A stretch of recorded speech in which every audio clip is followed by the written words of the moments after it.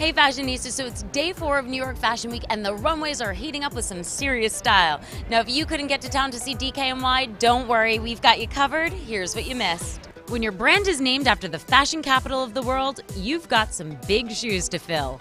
But Donna Karan started off on the right foot by kicking off her runway show with a video celebrating the Big Apple's iconic style.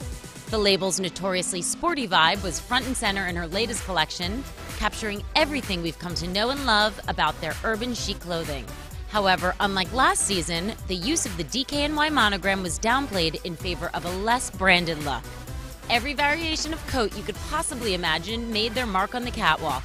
From preppy varsity jackets rocking a solo D letter to pea coats with exaggerated funnel necklines. The clothes were paired with chunky platform sneakers to create a grunge meets glam vibe. Some models rocked tinted teal braids, while others wore their tresses down for a more natural look. Maybelline was responsible for the makeup, painting smoky eyes and bold lips on the models' faces.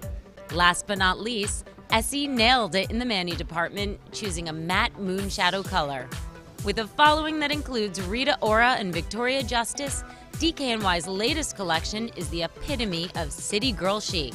And be sure to check us out all week because we're going to be going backstage to interview some of your favorite designers. For Fashion First Media, I'm Amber Milt. Thanks for watching.